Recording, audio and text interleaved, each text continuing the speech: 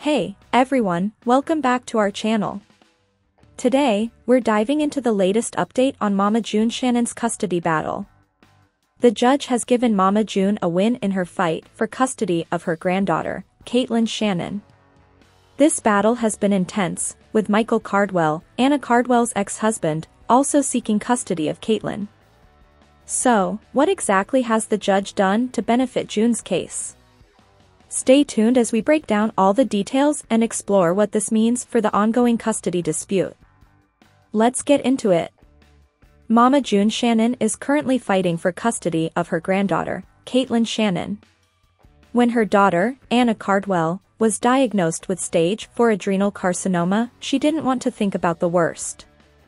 However, June and Anna's sister, Pumpkin, knew major decisions had to be made in case Anna didn't make it. Anna had two daughters, Kaitlyn and Kylie. Kylie would go to her father, Michael Cardwell, but Kaitlyn's biological father was never identified. Anna wanted her second husband, Eldridge Toney, to have custody of Kaitlyn, but June felt she could provide a better life.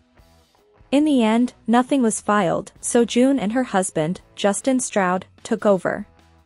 Then, Michael filed for custody, claiming he had a great relationship with Kaitlyn and had paid for her expenses. The case went to court, and June has already gotten a small win. According to In Touch Weekly, the court approved getting records from the Department of Family and Children Services, DCFS, at Mama June's request. The motion stated, such evidence and testimony is material to the matters before the court to allow the court to make an informed decision regarding the best interest of the minor child in this custody action. This is important because June has alleged that Michael was abusive towards Anna during their marriage. During his marriage to Anna, Michael frequently physically abused Anna and the child and it would not be in the child's best interests to be in Michael's care and control.